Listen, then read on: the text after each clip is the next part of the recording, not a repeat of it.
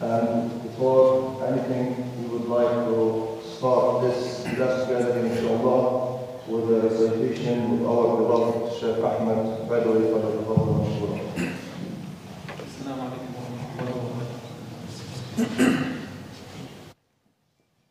أعوذ بالله من الشيطان الرجيم بسم الله الرحمن الرحيم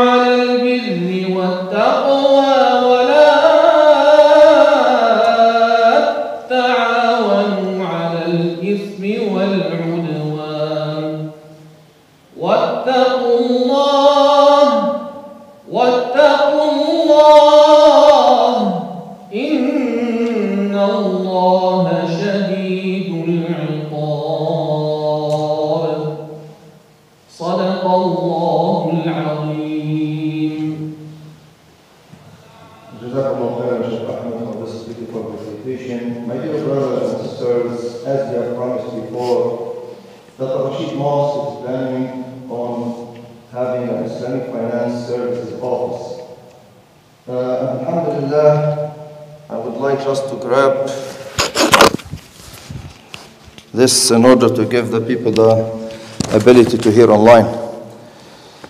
Alhamdulillah, tonight, after a long time of planning, more than a year, you can say, the masjid is working very hard in order to establish this kind of office.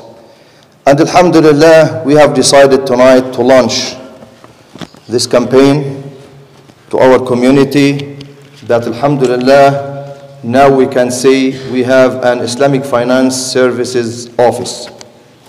What's the vision of this office? The vision is spreading knowledge about financial matters from Islamic Sharia perspective, practicing Islamic financial concepts in a professional way, guiding Muslim community to the riskness of the financial muamalat in the Islamic Sharia, contributing to build the Rashid organizations. As you know, brothers, two years ago we have announced on Laylatul Qadr that our plan, our future plan for this beautiful community to build lots of projects. As you know, on the table now, we have a senior home, we have a secondary school to come, and we have a grand mosque, a recreation center, Islamic library, info center, commercial plazas, and I can tell you, Alhamdulillah, by the will of Allah and by the blessings of Allah Azza wa Jal, we have the land now for all of these projects. We have the land ready for the senior home. We have the land ready for the second school, elementary school, inshallah. And we just bought 34 acres of land with $10 million and already for five years to be paid and already 1.5 million was paid as a first payment. For the land, for all the projects are ready to go. Takbir! Alhamdulillah. That's number one. All these lands, as you know, it was paid and there's some to come is going to be based on donations. But in order to build a grand mosque as well, donations, sadaqat will build. Other than that, when it comes to the senior home, recreation center, to the school, to plazas, to this and that, that's not going to be based on donations. That's why our plan to have this office the Rashid Now Foundation, they have established and they're working on a Rashid Investment Committee. A Rashid Investment Committee will work with the Islamic Finance Committee, which is the Islamic Finance Committee. It's we have Dr. Muammar as the chair of it. We have Dr. Mahmoud, Imam Mahmoud. We have Fadil Sheikh Ahmed. We have Abu Bakr Abu Rukba with us, and this poor man as well. Plus, we consult so many other scholars in the field, like our guest, Dr. Abdul Bari Mashal, and I'm going to introduce him. Just give me a little bit of time. What's the task of the Islamic Finance Committee? Because the administration, they're not going to take care of this. This is the job of this committee to look into these things. Their task is, or our task is, giving an Islamic professional written opinion about a specific financial matter for those who need it. Giving an Islamic professional written opinion about different agreements like a lease, sale, purchase, employment, insurance, partnership, etc. Offering a consultation to compute zakat for individuals and businesses. Uh, arbitrating any financial disputes according to Islamic Sharia for those who need this service. Some Muslims, partners, when they have a problem, they don't want to go to the court. Then they have a problem, they come to the masjid, and this committee will take care to deal with such dispute according to our Sharia, our religion, our constitution, which is the Quran and the Sunnah of the Prophet ﷺ. Participating in all financial activities offered by the Rashid organization, like as well the Islamic Will and other stuff.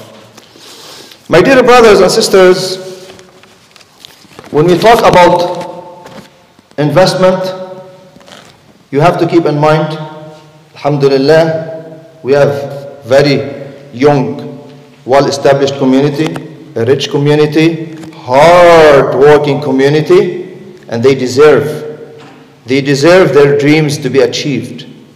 So that's why, when we talk about Rashid investment, we're looking for, inshallah, now we're working hard on it.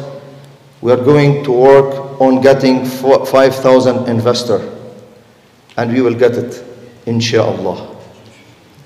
Once we get this number of investors, we are going to have, inshallah, our own credit union.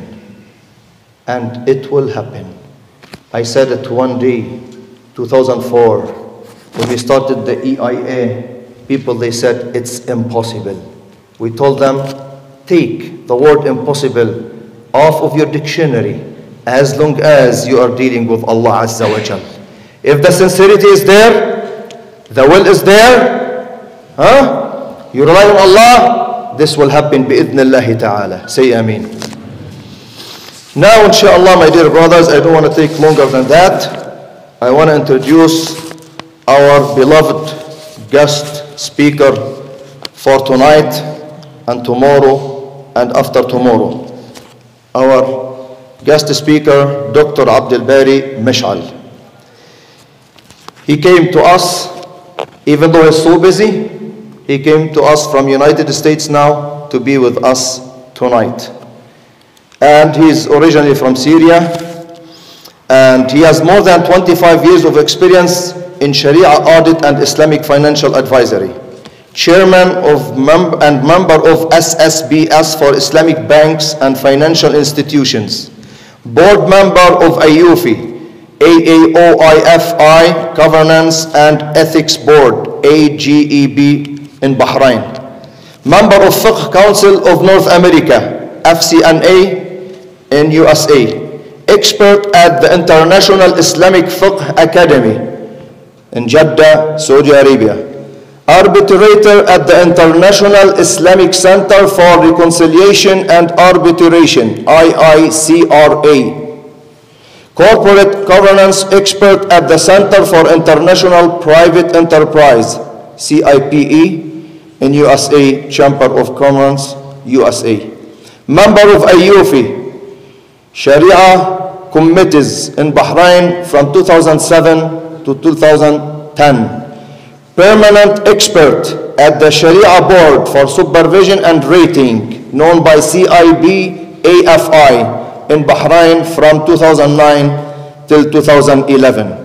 PhD in Islamic Economics, Al-Imam from Al-Imam University, Al-Imam Islamic University in Saudi Arabia, and it's a well-known university. Author of 14 textbooks and more than 60 research papers and 200 articles in Islamic finance. My dear brothers and sisters, before I give the mic to our beloved guest, Dr. Abdul Bari Mashal, just to let you know, inshallah, he's going to talk to us, to give us a general idea about what Islamic finance is. Some people they ask, guys, you talk about Islamic finance. What does it mean? And just to let you know, he will talk about it tonight. Tomorrow, he's going at the same time, he's going to talk about cryptocurrency. Lots of people now, we are flooded with so many questions about this. Is it halal? Is it haram? What should we do? He's the man to talk about it. And after tomorrow, December 26th, he will talk about Islamic contracts, mortgages, insurance, and so on. فجزاكم الله خيرا I would like to ask uh, Sheikh Dr. Uh, Abdullah to start uh, his uh, speech inshallah جزاكم الله خيرا Inshallah, uh, our beloved guest Dr. Abdul Bari will speak in Arabic and then inshallah, uh, point by point I will translate it inshallah in English. استخدم هذا ولا بس احطه قدام على احطه في مكان معين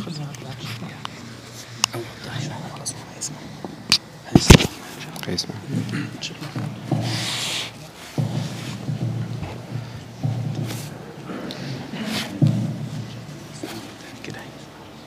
أوكي.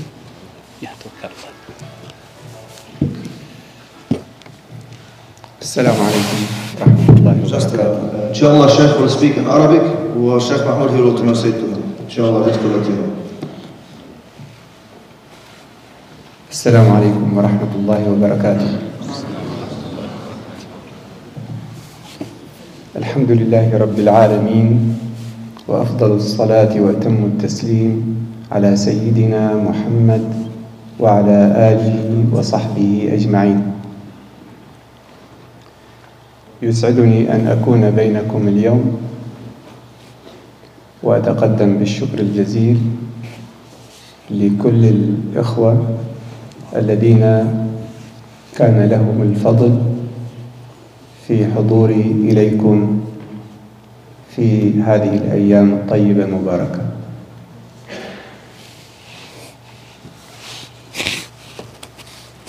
تفضل Uh, may Allah subhanahu wa ta'ala bless our guest speaker, Dr. Abdul Bari. He is welcome in the community and uh, alhamdulillah, he's uh, honored to be among us here in the house of Allah subhanahu wa ta'ala and he's given his appreciation and thanks to the community and to the administration in, uh, for inviting him to be with us in uh, such a beautiful night. Jazakallah.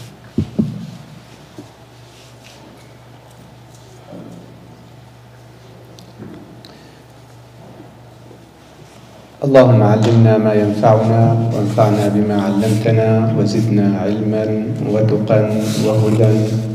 وارزقنا الصدق والإخلاص. سوف أتحدث اليوم عن الفروق الجوهرية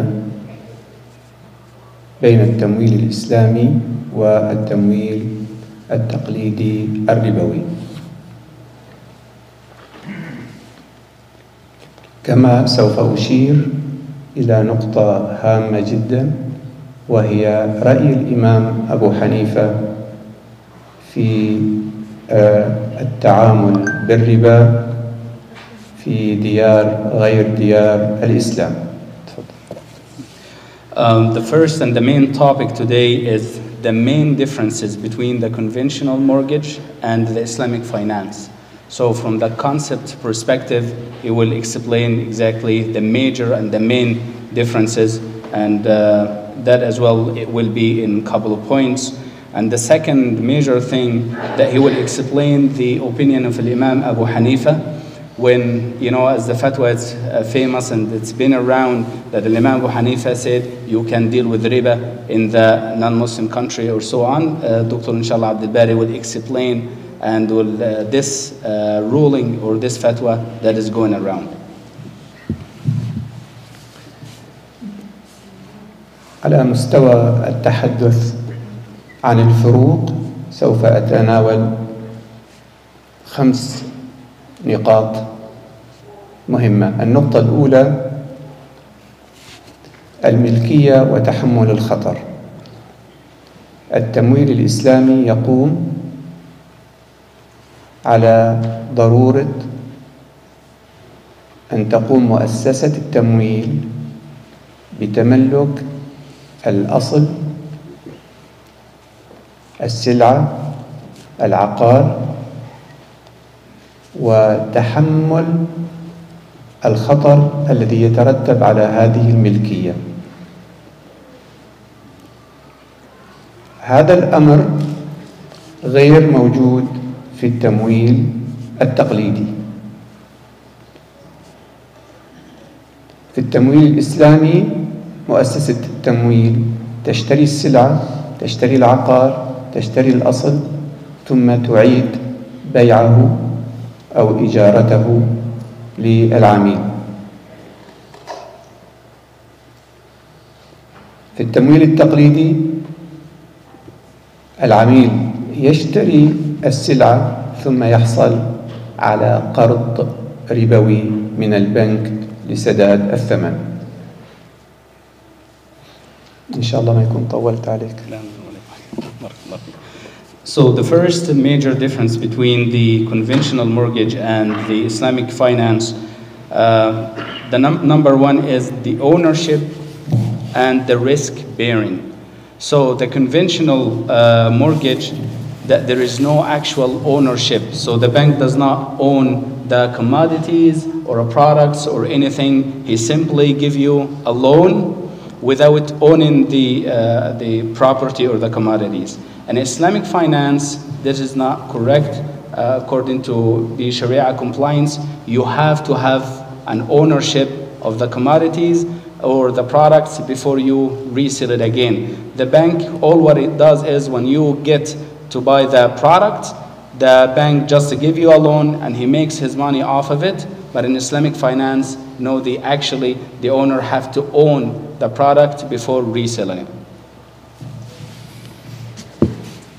في نفس النقطة تملك الأصل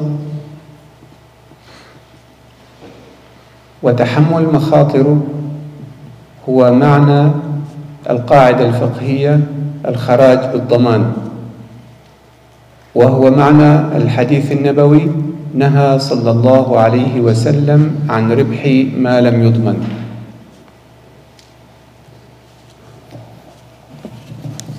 So in the same point here, uh, the, our beloved uh, guest speaker, Dr. Barry, he mentioned and he put emphasis on um, the risk bearing of that as well. From Islamic finance, person when he owns the commodities, he have to bear with the risk that coming with it.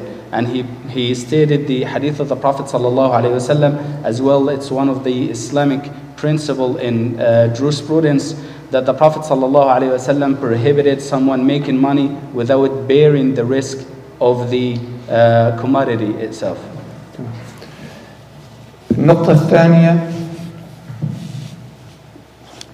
minimal period of ownership هل هناك فترة معينة يجب على البنك الإسلامي أو على مؤسسة التمويل الإسلامي أن تحتفظ بها بملكية السلعة قبل أن تعيد بيعها على العميل.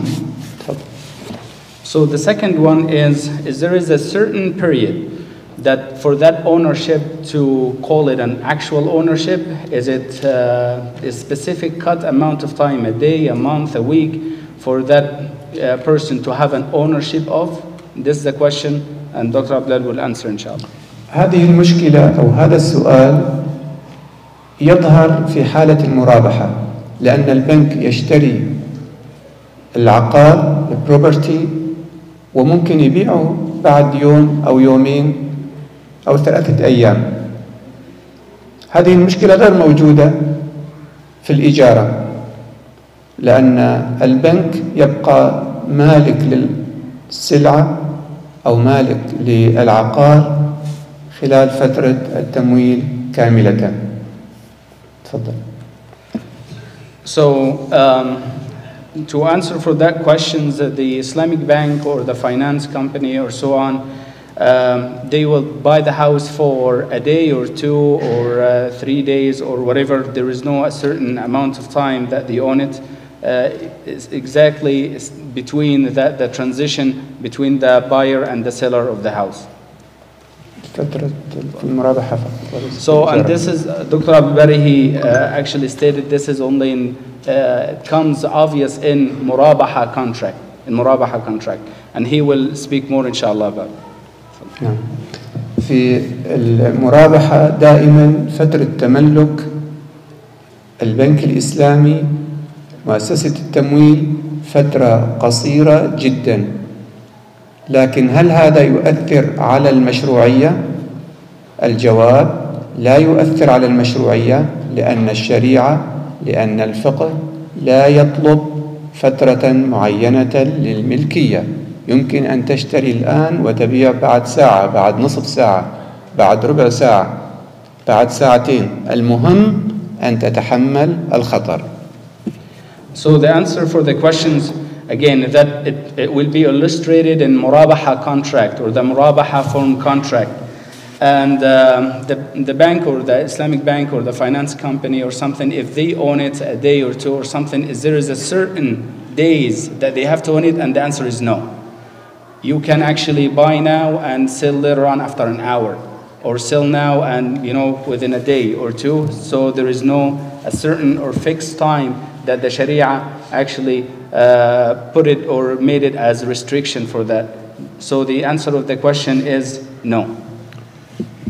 النقطة الثالثة registration of the title السؤال هو هل يجب تسجيل التايتل باسم البنك الممول في أي من صيغ التمويل. هل يجب تسجيل التايتل باسم البنك الممول أم لا يعد شرطا شرعيا؟ الجواب هو لا يلزم شرعا وليس من المطلوب شرعا أن يتم تسجيل التايتل باسم البنك وإنما يكفي أن يتحمل الملكية أن تنقل الملكية بالعقد وأن يتحمل الخطر وهذا هو المطلوب شرعا So for the registration of the title in the name of the company or the bank or so on, is it Sharia you have to get the registration or the title on it, uh, or the company will put the registration or something, or has to put it on the commodity, the house, or so on. This is a legal procedure. It's not really uh, mandatory in Sharia perspective. But what's mandatory is that have the uh, legal uh, ownerships transferred with the contract The legal transferred after he signed the contract, then he get actually the legal transformation to the uh, to the one who buys the uh, commodity or the property. بمعنى أن لو كانت الملكية القانونية التايتل باسم العميل هذه هذا لا يعني أن الملكية الشرعية باسم العميل وإنما العقد الذي اشترى به البنك العقار من المالك الأصلي يقرر أن الملكية باسم مؤسسة التمويل الإسلامي وأن الملكية القانونية التايتل موضوع باسم العميل بالاتفاق لمصلحة. ما هي المصلحة؟ نتحدث بعدها. So, for the registration of the title and the name of the client or the name of the company or so on, just the registry of the title from a legal perspective, it does not conflict with uh, Sharia uh, compliance. So, um, just they can agree whatever the you know the title will be uh, in its name, either the financing company or the client or whatever, either or, it will not affect on from uh, Sharia compliance and they can agree for mutual benefit. What is the mutual benefits uh, that they will agree upon? Uh, Dr. Abdullah will explain, inshallah. آه، المصلحة قد تكون تجنب دبل تاكسيشن الازدواج الضريبي وهذه مصلحة شرعية للطرفين So the first one is, for the first benefit is avoiding double taxation. As mashallah, our beloved uh, Dr. Abdul Bari, he uh, mentioned it in English. So there is no reason for the translation. So, and this actually will be benefiting both parties. تمام النقطة الرابعة uh, the fourth point prohibition of debt rescheduling and late fee هذه النقطة فرق أيضا جوهري بين التمويل الإسلامي والتمويل التقليدي. في التمويل التقليدي يمكن أن يكون هناك rescheduling أيضا ممكن أن يكون هناك ليت في في التمويل الإسلامي لا يوجد هذا الشيء مطلقا. So the fourth point, and this is one of the major points that will actually differentiate between the conventional mortgage and the Islamic uh, finance, is the prohibition of rescheduling debt and late fee payment. So in a conventional uh, mortgage, you can reschedule your debt, and that of course it will increase the percentage or the interest. Uh, in Islamic finance, there is no such thing. There is no such thing called rescheduling your debt, as well as the late fee payments. In conventional mortgage, they, they can put charges on late payment fees, but the Islamic finance, there is not no uh, charge of the late fees. آه هذه أربع نقاط في اعتقادي هي كل الأسئلة التي تدور في أذهانكم حول الفرق بين التمويل الإسلامي والتمويل التقليدي So those four points that uh, Dr. Abubari talked about it, he's sure and he's certain that it's actually going on everyone's mind for uh, asking what's the difference between the conventional mortgage and the halal mortgage or the Islamic finance. النقطة الخامسة نريد أن نفسر شبهة التشابه بين التمويل التقليدي والتمويل. آه الإسلامي يعني many people says Islamic finance similar Islamic uh, conventional finance هل هذا السؤال أو كيف نجيب على هذه الشبهة So um, he will explain right now and what is uh, why the similarity, uh, why the people saying, you know what, it's Islamic finance and conventional mortgage, they all the same, and how would we answer this uh, one, uh, this shubha, or you know, this raise the questions now.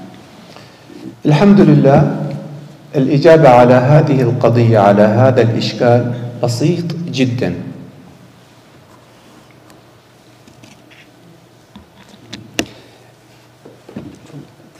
الإجابة على هذا السؤال بسيطة جدا ومباشرة جدا.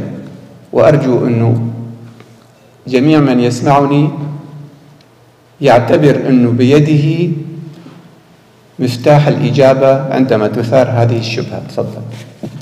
So the answer is very simple and very straightforward, and he hope, inshallah, that you will you will know and understand the answer to this question. So whenever you get asked what's the difference between Islamic finance or the Islamic mortgage versus a conventional mortgage, you will be able to answer, inshallah.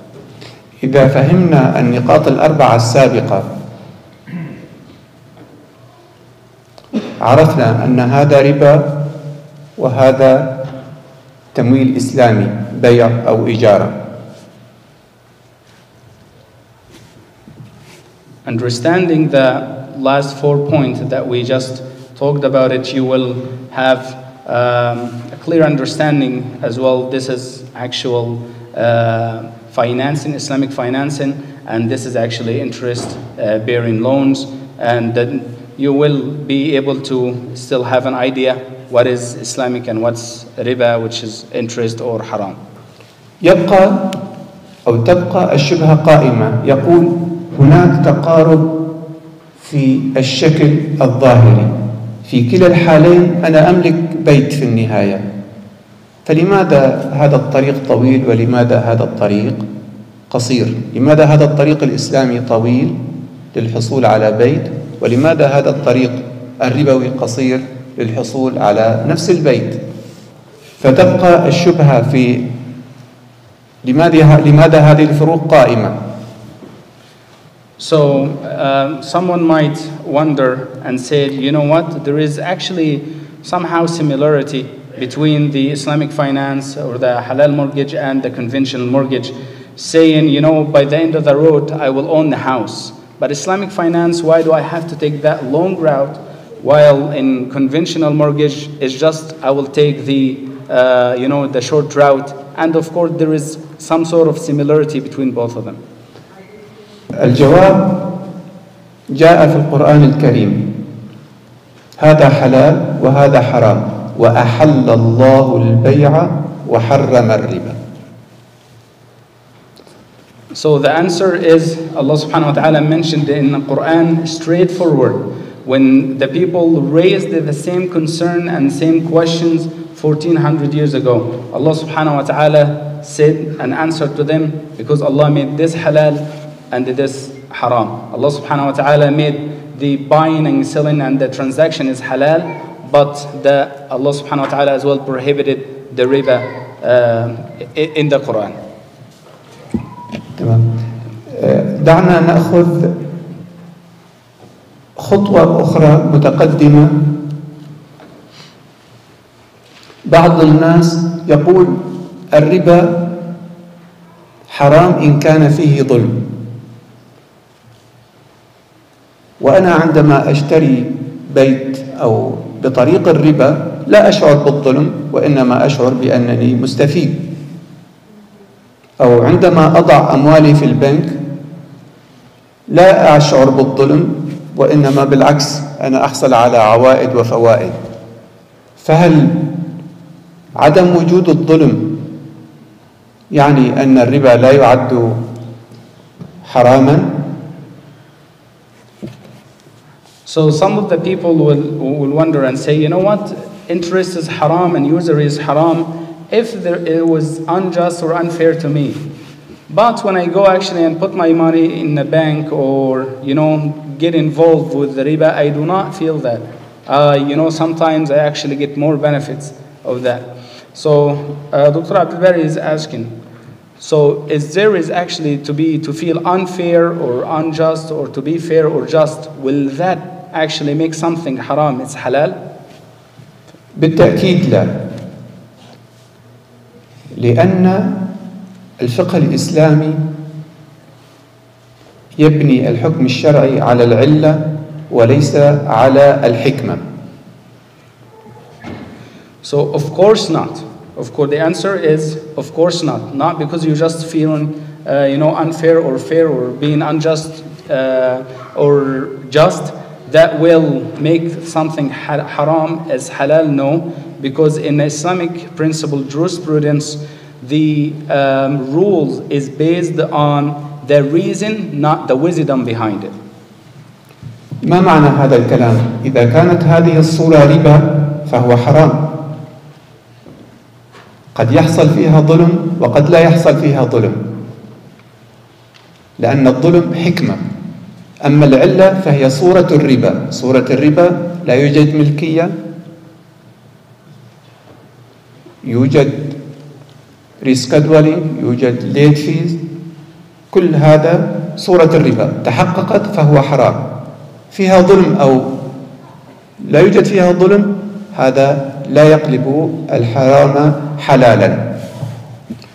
So, the, to explain what is that principle, uh, the Islamic uh, principle of jurisprudence, is saying that the um, form of the riba, this is why it's prohibited in Islam to deal with it. The form, not what you're feeling behind it, not the purpose behind it, not the goal behind it, not what you feel unjust or unfair to it will actually uh, make the ruling uh, in it, but rather it is the form of riba. This is will do halal, it will become halal or haram.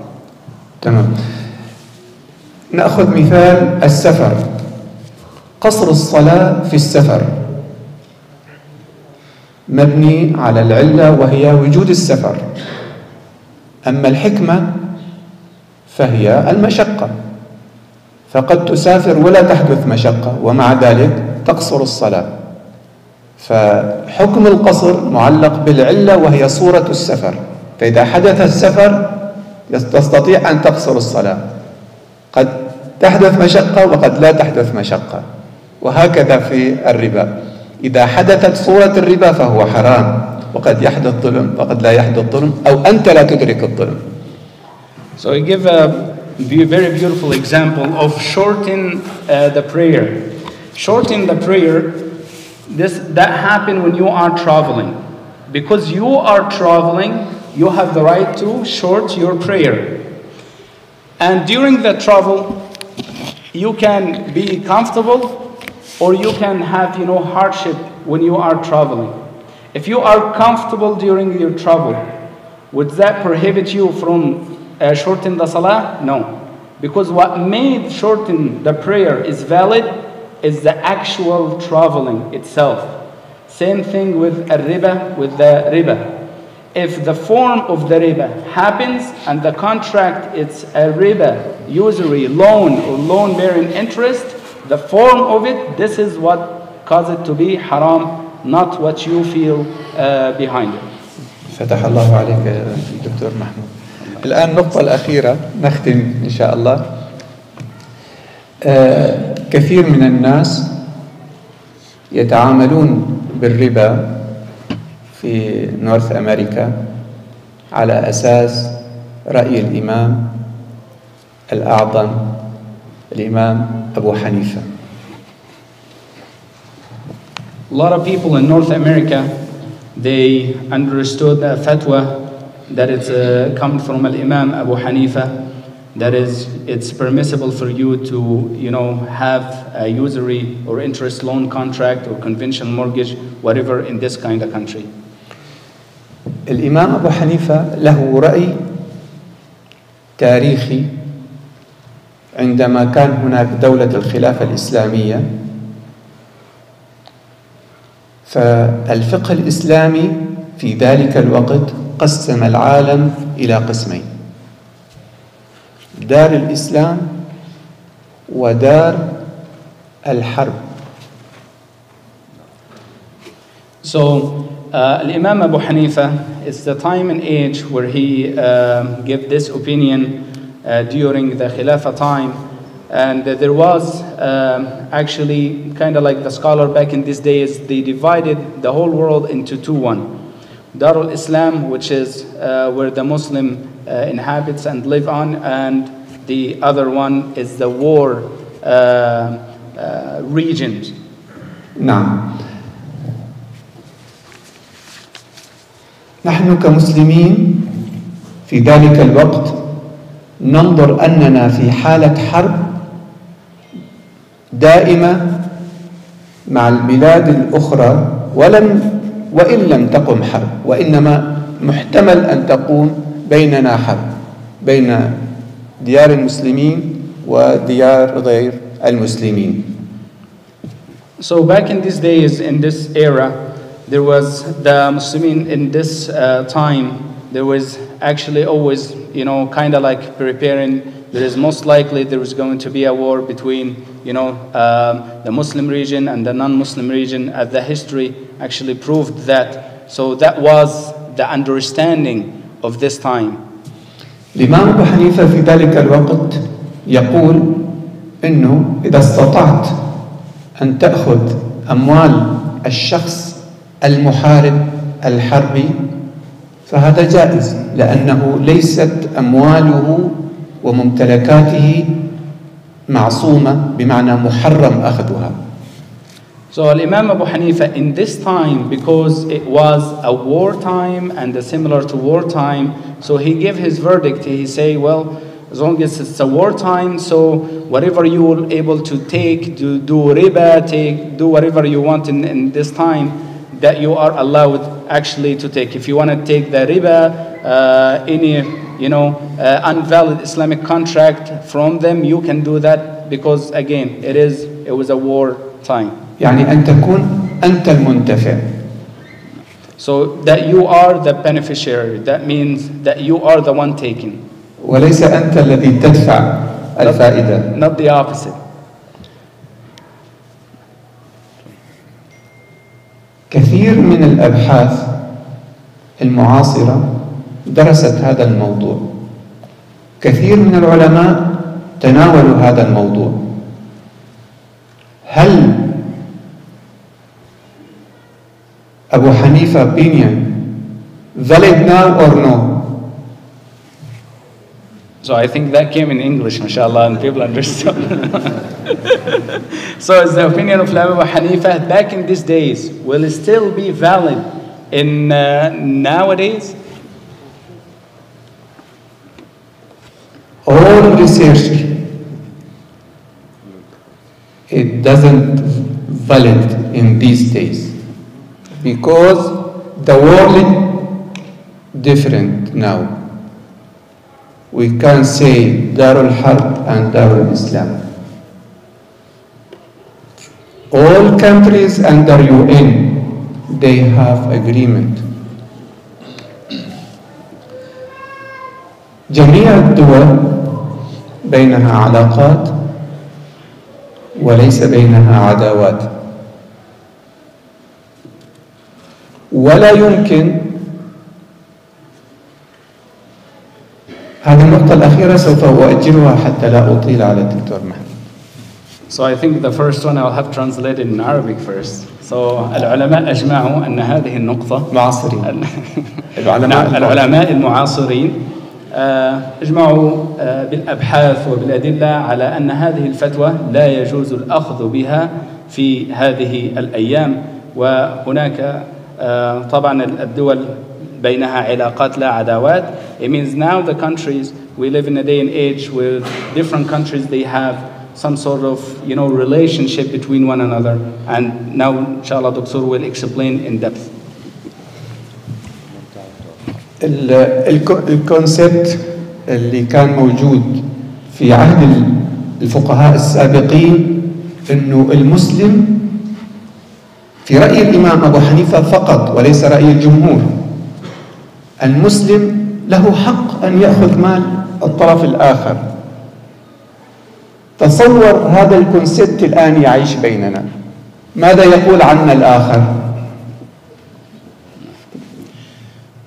Uh, so back in these days, again, if you try to implement the opinion of Abu Hanifa now, when he said, "Oh, you can take his money," imagine if you implement this opinion now, and there is it's a different time, different agreements between people, between countries. What do you think the people will say about you when you take the money from the other person? فلذلك رأي الإمام أبو حنيفة وفق محققي هذا العصر لا يعمل به So the opinion of Imam Abu Hanifa back in these days, by the current scholars nowadays, they said you are not allowed to take this opinion. It was different time. You're, you're not allowed in Islam to implement it now in these days. أيضا رأي الح- الإمام أبو حنيفة is not valid to Islamic mortgage, uh, to a conventional mortgage because to, you pay the pay interest, not take the interest. So as well, if you want to implement it here, you're still in the wrong because uh, Imam Abu Hanifa saying you are the one who's taken. But actually in a conventional mortgage nowadays, you are actually the one who's given, not taken. Sheikh Taqi Al-Uthmani, Sheikh Taqi Al-Uthmani, يعني uh, famous scholar in Pakistan حنفي school أيضا شيخ مصطفى الزرقاء رحمه الله أيضا من المدرسة الحنفية. كلا الشيخين قالا لا يعمل برأي الإمام أبو حنيفة. ووصفا رأي الإمام أبو حنيفة كلاهما بأنه ضعيف أو مرجوح والظروف اختلفت كلاهما وهما من محققي المذهب الحنفي. So there's two scholars in the Hanafi school of thoughts. It's renowned scholars worldwide. Uh, Sheikh Taqi Uthmani and uh, Sheikh Mustafa Zarqa. Sheikh Mustafa Zarqa alayhi rahmatullah, he passed away. May Allah subhanahu wa ta'ala have mercy on his souls. Both of them, they give their verdicts that you are not allowed to um, implement the uh, fatwa of Imam Abu Hanifa. One, because it's a weak opinion and it's actually the, a weak fatwa. Second, there is, you know, it's against uh, the correct opinion. And after all, the basis of the fatwa and the uh, history, the regions and the time it changed, everything changed. So you're not allowed actually to implement this fatwa nowadays. مرة ثانية الشيخ تقي العثماني يقول أن الفتوى في كتب الأحناف تمت مناقشتها وتضعيفها في كتب الأحناف أنفسهم So in the Hanafi school of thought itself, this fatawa, Sheikh the Taqi. Hanafi is- scholar, according to Sheikh Taqi Uthmani, the Hanafi scholar themselves, within the books of the Hanafi school of thoughts, they actually proved with evidence this fatwa is weak and it's not correct. وقال أيضا بالإضافة إلى ذلك الظروف اختلفت بين تلك الفترة التي نشأت فيها الفتوى وبين الظروف الحالية Total different times where Imam Abu Hanifa used to live and you know the things that happening around him and nowadays and what's going on uh, in these days. خلاصة الموقف لا يمكن للمسلم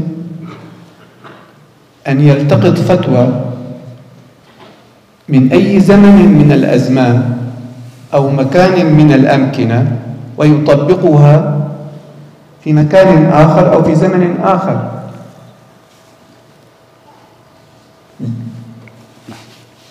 So to sum up, for uh, as a Muslim, as individual, you're not allowed to cherry pick a fatwa from different time, uh, different era, and try to implement it here in, in this time, and you know, without with disregarding the uh, uh, things going on back in these days, just to cherry pick the fatwa and implement it uh, in these days. يجب التأكد أن الظروف الحالية مطابقة للظروف التي نشأت فيها الفتوى So you have to make sure as well the reason Al Imam uh, give the fatwa, you have to look back to the history, the atmosphere, the, the things was going in around in this time where the people used to deal with this time, and it has to be similar to the time that you live in so you can actually do the legal analogy and you implement this fatwa. هناك كلمة قد تبدو صعبة في أصول الفقه اسمها تحقيق المناط تحقيق المناط وهو تطبيق الحكم الصادر في الفتوى على الواقع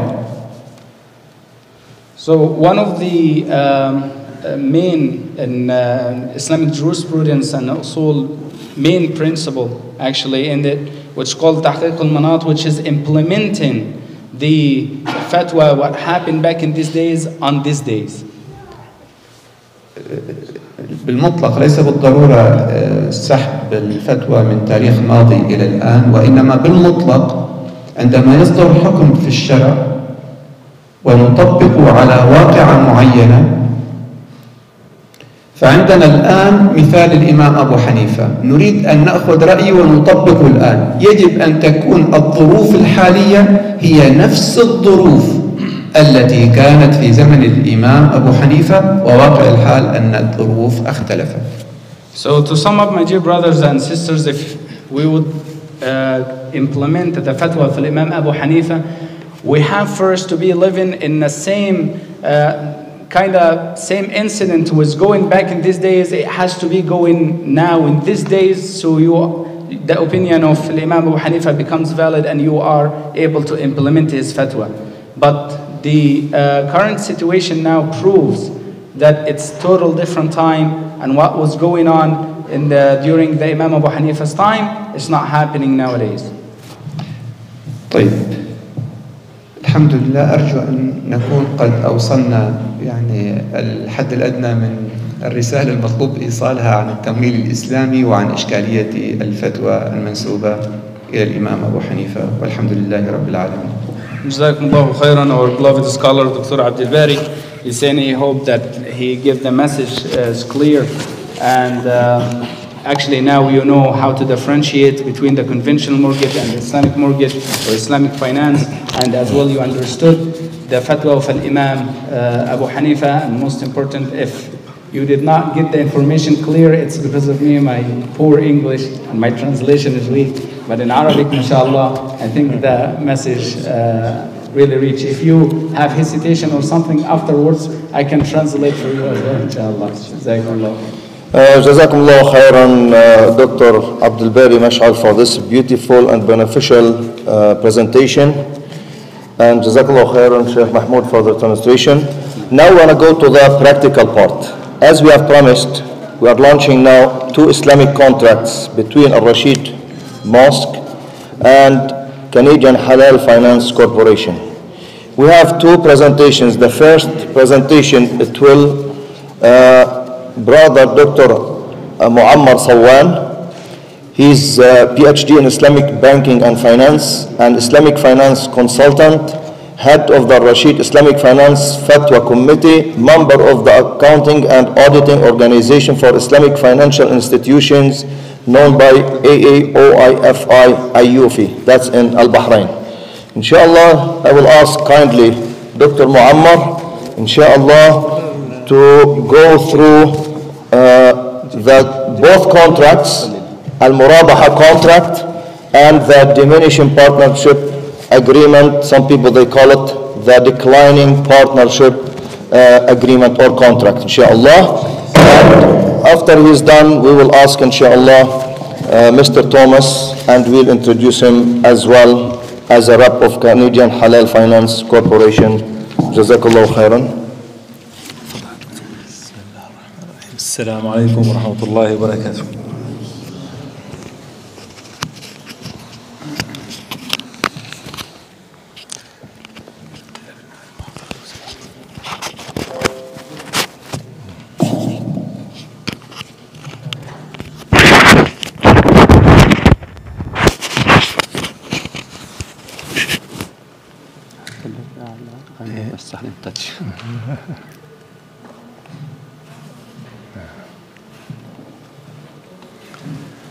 بسم الله الرحمن الرحيم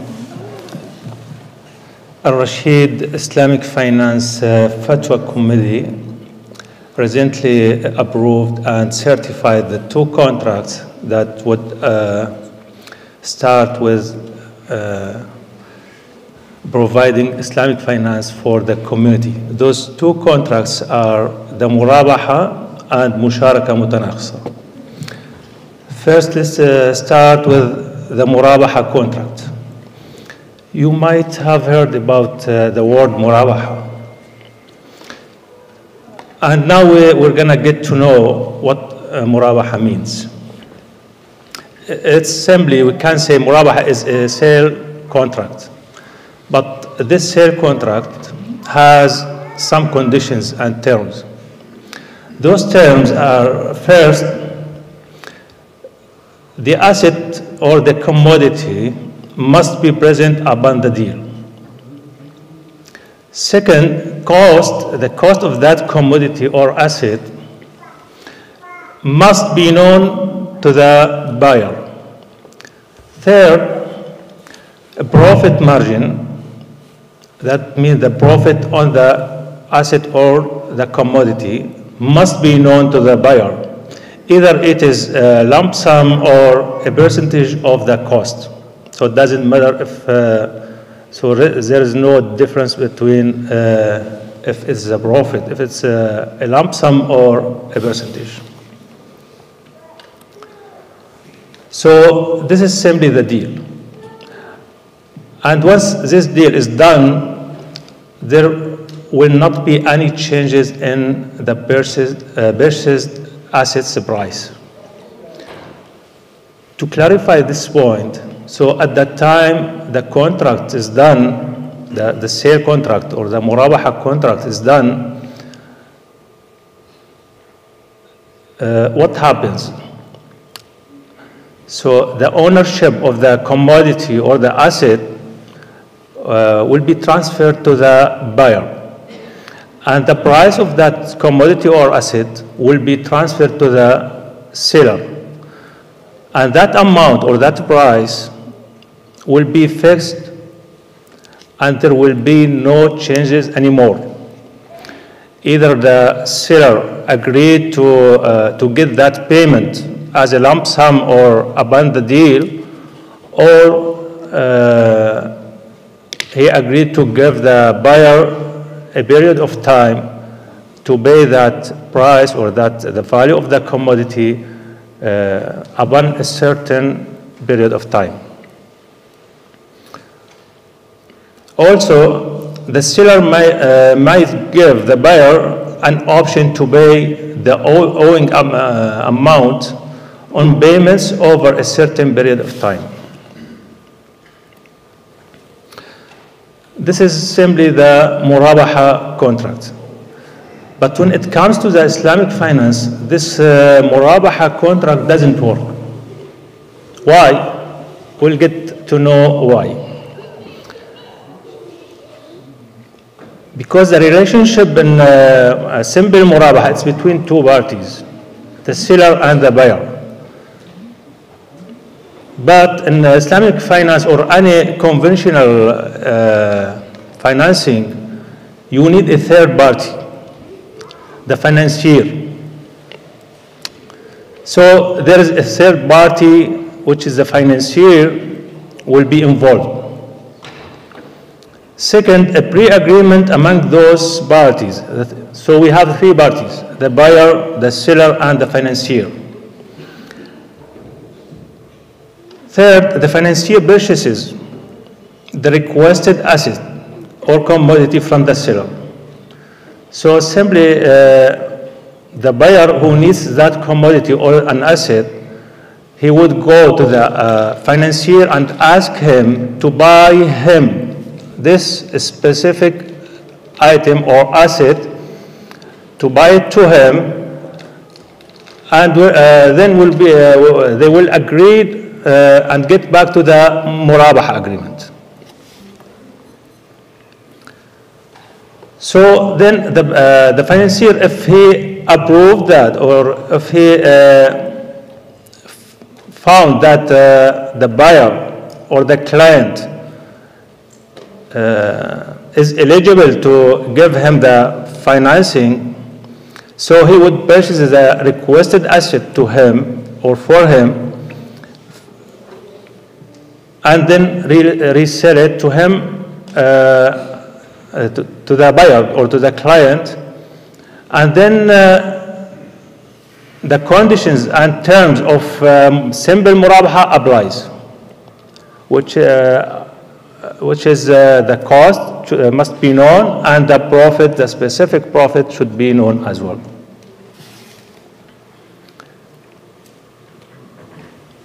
So this is simply the murabaha and the murabaha upon the buyer's request. So let's move, uh, sorry I'm uh, going quickly uh, to go through uh, all these slides because we don't have much time. So the Musharaka agreement or diminishing partnership, it's an Islamic module of partnership. And also it's a financing agreement whereas a client and the financier each contributes to purchase a property and each has an ownership share in that property. How Musharaka Mutanaqisa works. There will be an initial agreement. So the client comes to the uh, financier and asks him to buy a specific asset or property. And there will be uh, an initial agreement between the financier and uh, the client. So basically, uh, the agreement uh, contains that the, the buyer or the client must pay or should pay a percentage of the asset's value or appraised value. And the financier will contribute the balance. These contributed amounts establish an ownership share that both the client and the financier will have in the property at the beginning of the agreement. Title to the property. As our Dr. Abdul Bari mentioned earlier, the property will be registered to the client's name. So it's not a big deal if, uh, especially here in the Musharaka agreement, there is uh, no difference either uh, the title registered to the buyer or to the financier. There is no issue with that. And the buyer or the client will be responsible for the property expenses. Why? Because he will get uh, he will be the sole beneficiary of that uh, property. The financier retains an ownership share secured by a mortgage until the client purchases all of the financier share. As we said earlier, the, the cost of that purchase share upon the deal is done, it will be converted to an owing balance the client should pay to the financier.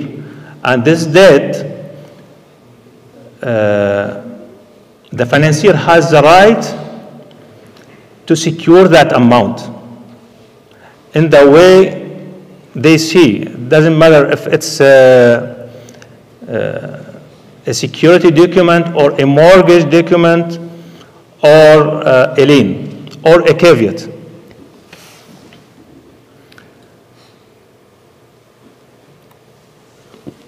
Promise to buy.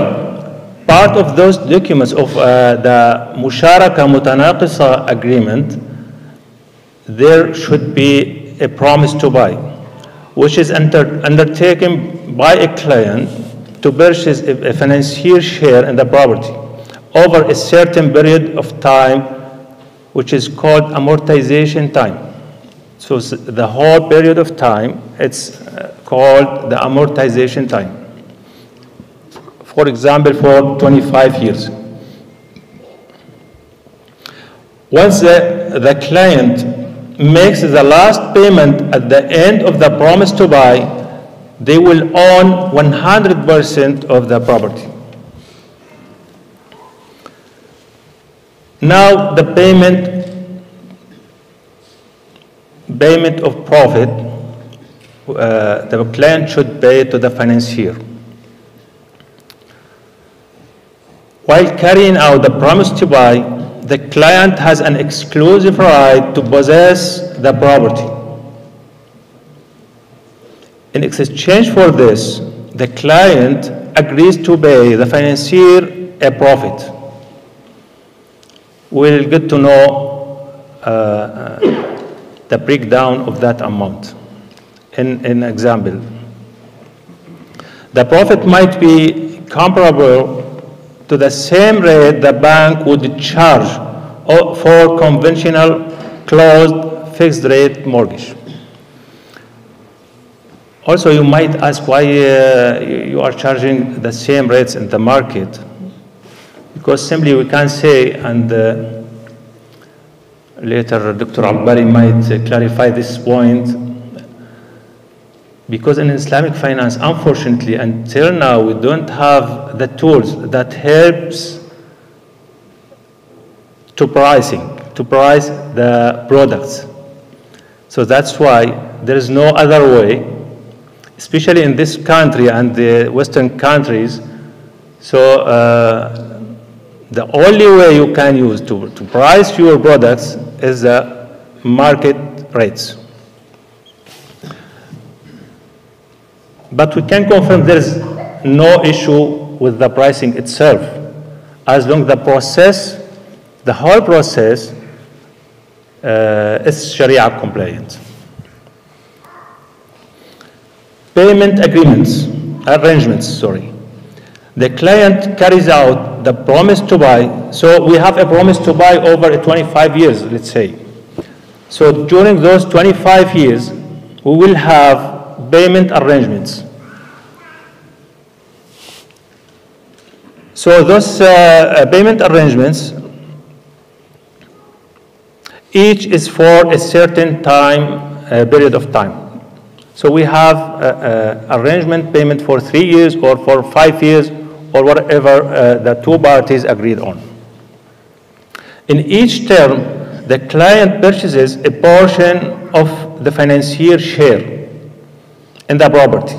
For example, they might agree to, uh, to sell 5%, 10%, or 15% of the financier share in that property and makes regular payments to pay off that portion. I know there are, a lot of um, information, so I'm gonna simplify this information in example to get you to know that better. So here's the example. So let's say we have a house that's worth $300,000. The down payment, the down payment by the client, which is the client's contribution, initial contribution, let's say uh, 20% of the value of that uh, uh, house. So that means he has to pay $60,000. That means the financier uh, already agreed to pay the balance, which is $240,000. And that uh, uh, will be 800, 80 percent uh, of the property ownership. And they agreed the amortization period for 25 years. So now this is the initial agreement. Upon the uh, uh, signing the agreement, they will also sign an initial payment arrangement. So they agreed the uh, share to be purchased by the clients is uh, uh, extra or additional 25%, other than 20, uh, the 20% he contributed uh, first. And the cost of those uh, 25% is 60,000, the cost. And the profit margin is 5% and the term is for five years. Is it clear? I don't think so. now profit and the purchase, let's do some math calculation. The profit for that uh, uh, agreement or for that term will be 15,000, which is a 5% for five years times the cost of that share, so will resulted in uh, 15,000. Also, the other payment the client has to pay is uh, because he possess, as we said earlier, he possess uh, has a sole uh, possession of the property, right? So uh, first he uh, has to pay the purchase, uh, the, what, she- what he purchased, and also he has to pay the rent for the possession, the whole property. So how we calculate that? Uh, so we'll re- result uh, that in uh, $45,000 for five years.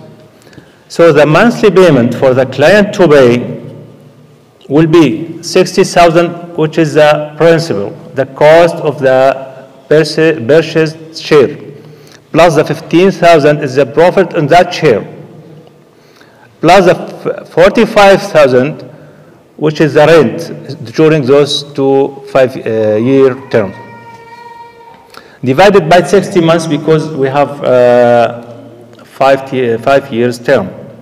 So that means the monthly payment will be $2,000.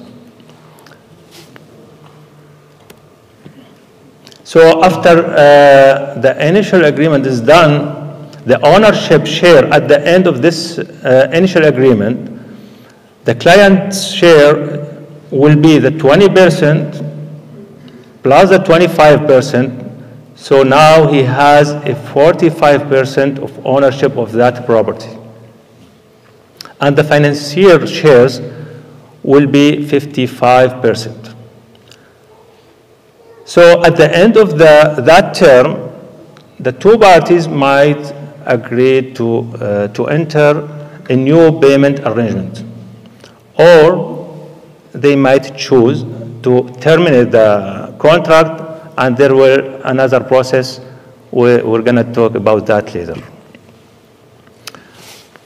So thank you for listening. This is uh, briefly uh, explanation about the two contracts. If you have uh, questions about that, I know you have a lot of question about that. So until we finish our the whole presentation, we're gonna uh, answer your question, inshallah.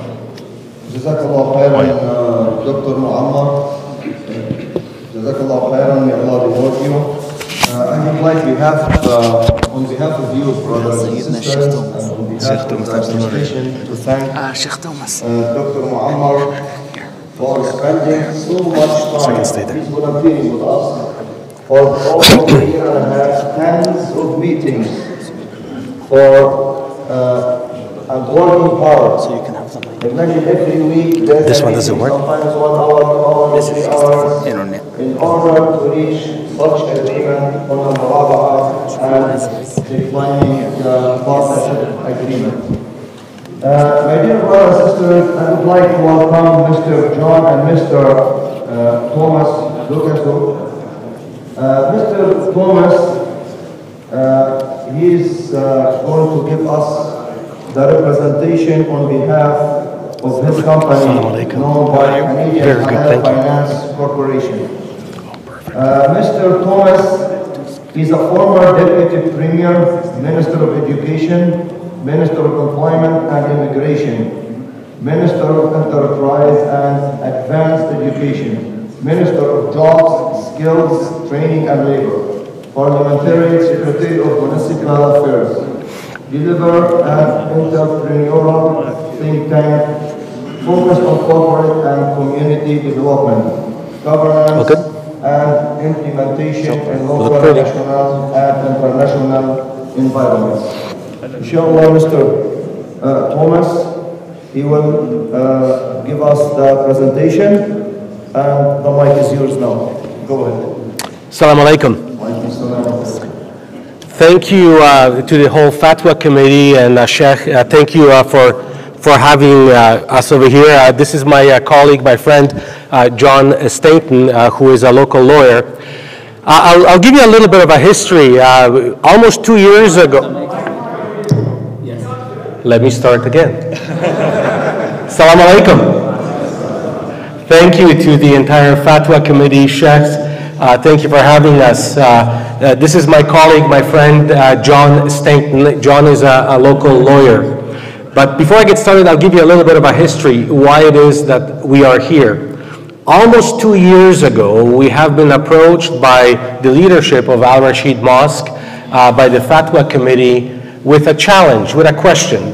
How can we set up a Islamic finance corporation that can be uh, like a credit union that can provide financing for purchases of houses and perhaps other commodities later uh, that is Sharia law compliant, but at the same time that is compliant with, with, Canadian, uh, with Canadian law and Canadian securities to make sure that clients are protected by both Sharia law and Canadian law. We have been working uh, for the last two years uh, with uh, Mr. Khalid Terbain, Sheikh's Fatwa Committee, uh, with lawyers of Al Rashid Mosque, with outside legal teams, and it was indeed a challenge to mesh together Sharia law with Canadian law to make sure that this protection exists and that a product can be delivered to our Muslim community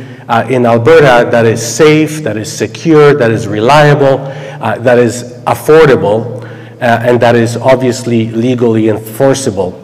And I have to tell you today is, is a really great day because I'm here to report to you that, that we have found uh, a solution to the problem and that a product is now available officially uh, as of today. Uh, a corporation has been formed, the Canadian Halal Financial Corporation, um, that is delivering this product right here in Alberta. As I mentioned earlier, and you will see in the slide, uh, we have formulated agreements, and the agreements are um, they have been reviewed by Sharia law scholars from Al Rashid Mosque who have certified, issued a fatwa that these agreements are Sharia law compliant. These agreements, as I said earlier, have also been reviewed by Canadian lawyers, not by one, but, but a team of lawyers, and they do confirm that these contracts protect consumers uh, in the same way as, as any Canadian borrowing money in Canada uh, should be. But we have gone one way, one step further uh, to make sure that, that this compliance is consistent, that every time a client enters into an agreement, each agreement will be reviewed by Al Rashid Mosque uh, and, and the Fatwa Committee to make sure that each individual agreement is both is Sharia law compliant. So how will this process work? It may look a little complicated, but it actually really isn't. To obtain a Sharia compliant mortgage as of right now, all you have to do is either visit our website or just come here to Al Rashid Mosque and obtain what's called a financial disclosure form and a consent form. And you have to complete it and return it back to the mosque uh, with all required attached documents. Now, wh what is this document? This document basically asks you for your family's financial situation. Uh, your employment history, how much money do you make, what assets do you have, what other financial obligations do you have, car payments, visa payments, or, or anything else that you have, so that we can establish uh, your, your financial situation. You will file those documents uh, here, here at the mosque with all supportive documents, which is uh, a, a, a, copy of your income tax return, uh, a proof of employment, um, and, and, and any other relevant documents that are required. This financial information then is reviewed and confirmed, just like it would be by any, by any financial corporation, and credit checks are performed.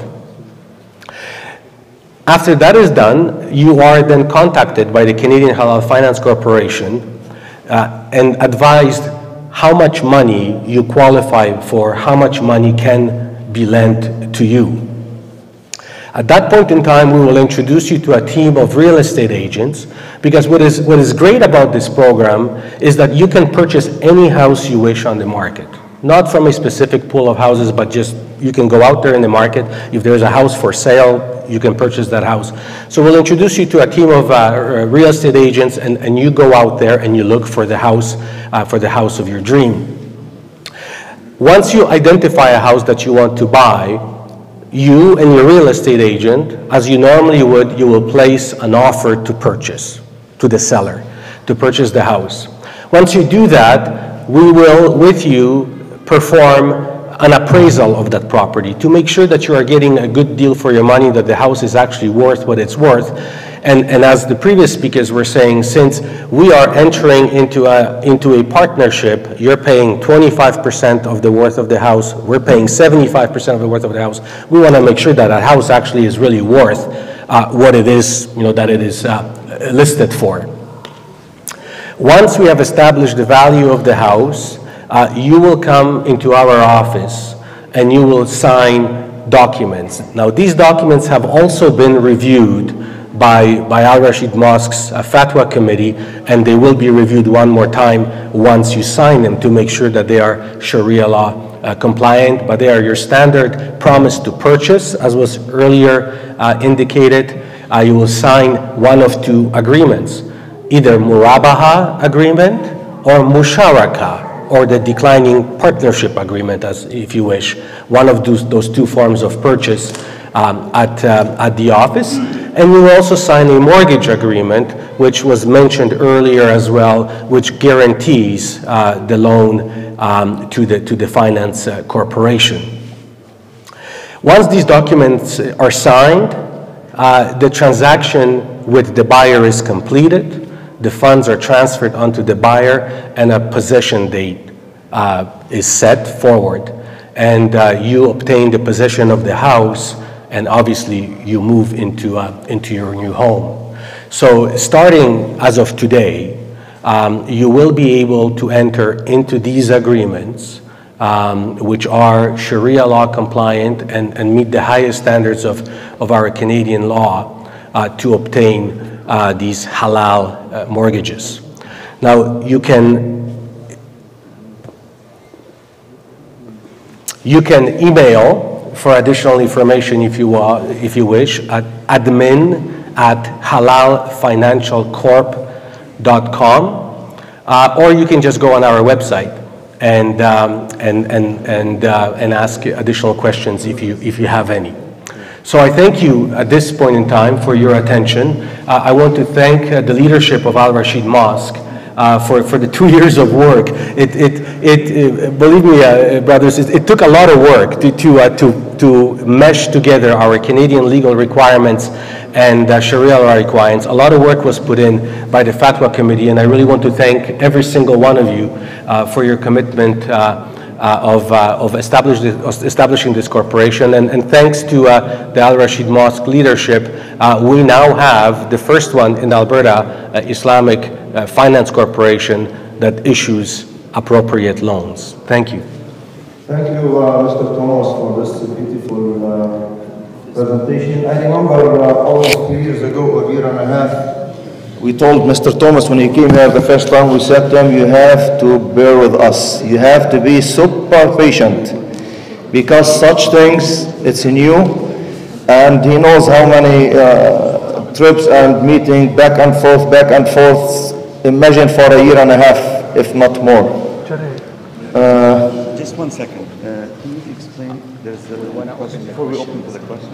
If I have a mortgage right now and I want to change it to Islamic, can you explain the process? He will add some, uh, reflect on some important issue as well before we open the question and answer part.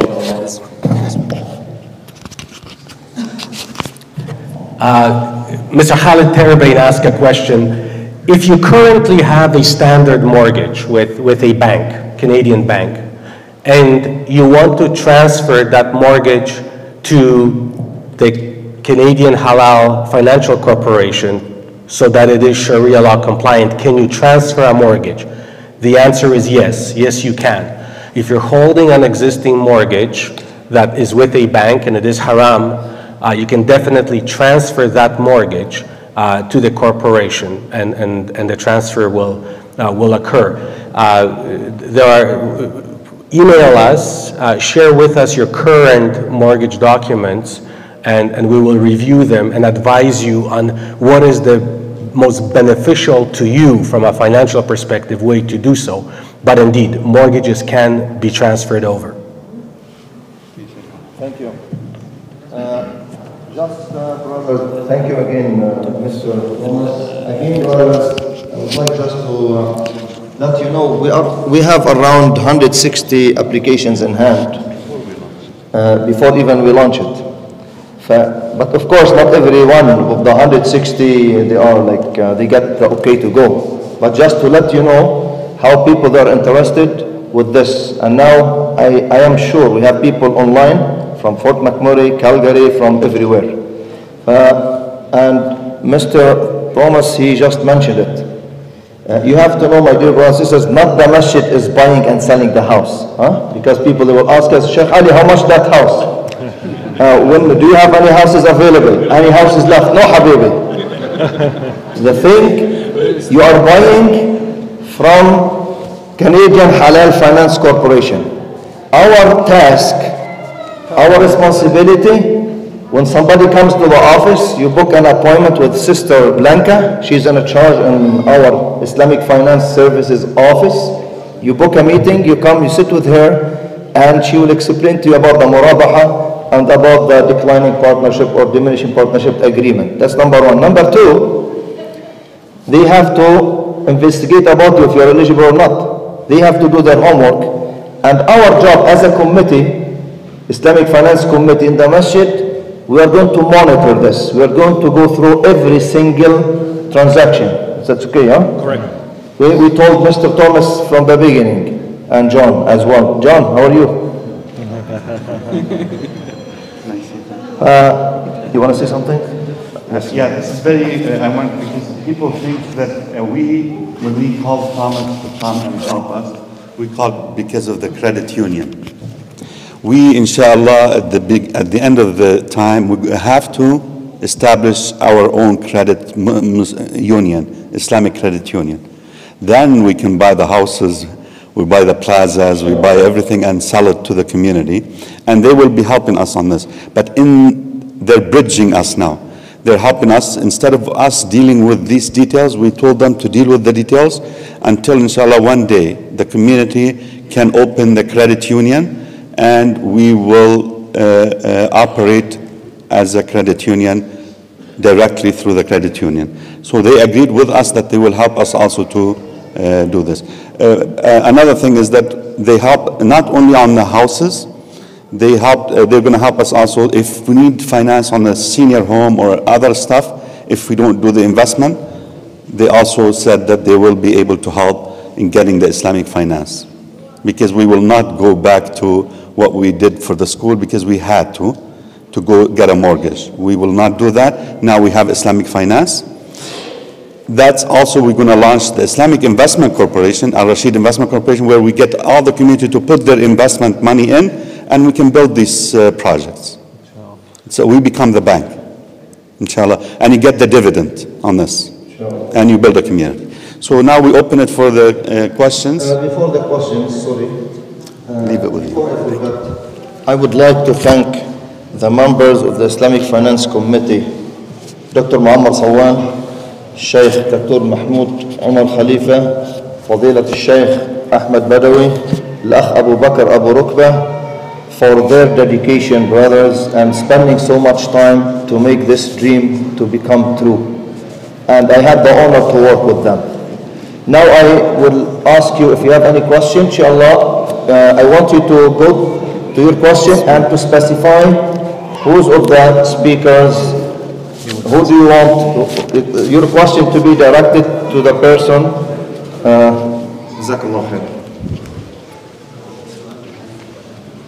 Uh, he, he was asked first. Go ahead, brother. What's your name? Uh, my name is Osman. Assalamu alaikum. Um, firstly, thank you to everyone for this job. May Almighty Allah reward all of us. Uh, so I, I don't know how much time um, I have for this question, but I believe it's going to benefit almost every one of us. Um, the first one, if you can open to the um, calculation. Hang on, brother. Wear this one so that people Yeah, take,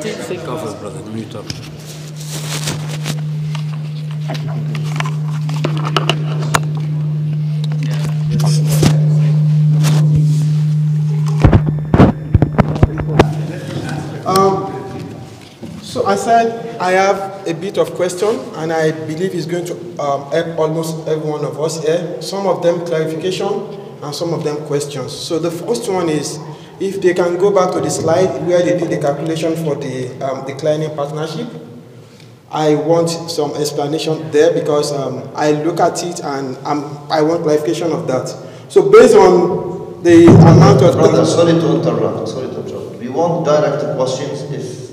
Calculation, I think that will take so much time to calculate. You can sit with any of the brothers later on, he will explain to you the calculation. No, I got the calculation. I just want clarification.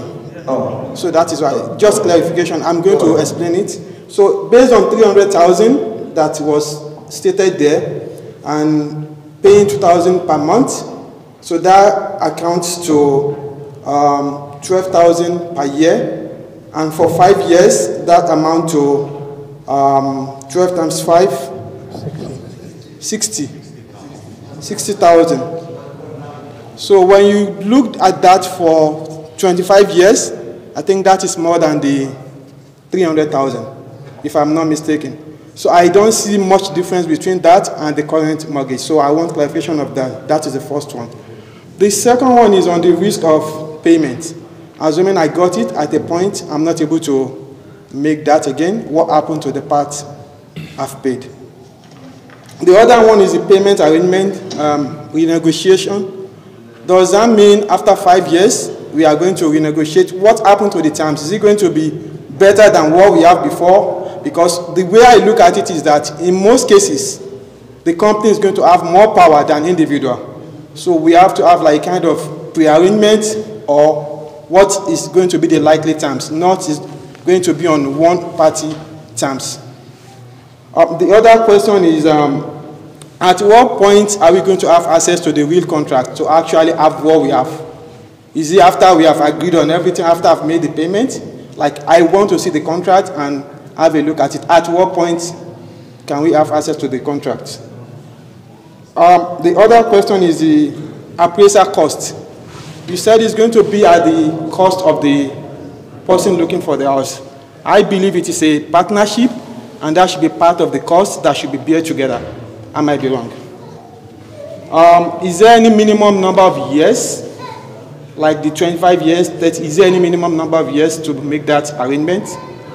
Um, the last one is the loan agreement that you mentioned. Can you um, explain better what you mean by the loan agreement, please?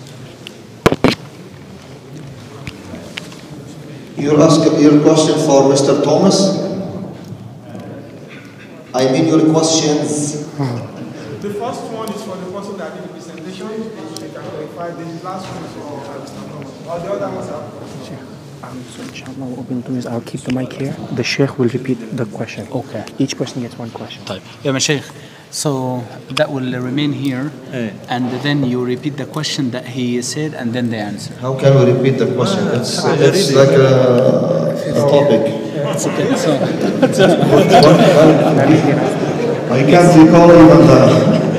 so inshallah, uh, try, try to That's why, brothers, if it's a long question, you can sit later on with one uh, with the committee, no problem. But we need direct the questions that we can remember the question and to answer it. Come, brother, what's your question?